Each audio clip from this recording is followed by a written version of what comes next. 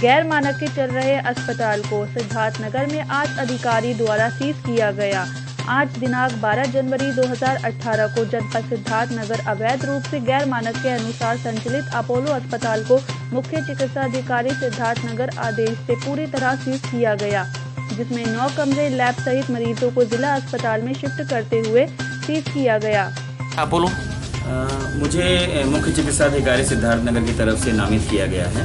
Apollo hospital जो है, जहाँ मौजूद हैं, इसको सील करने के लिए। इसके खिलाफ बहुत सारी शिकायतें हैं। उसको संज्ञान में लेते हुए अभी कुछ दिनों पहले भी एक बच्चे की डेथ यहाँ पे, छोटा बच्चा था, उसको सर्जरी किया गया और वो बाहर जाकर के उसकी डेथ हो गई। ऐसी तमाम सारी शिकायतें और जो मानक के अनुरूप जो अस्पताल की चीज़ें होनी चाहिए, वो न होने के कारण और बहुत सारी शिकायतों के कारण सील सील करने हेतु तो मुझको नामित किया गया था।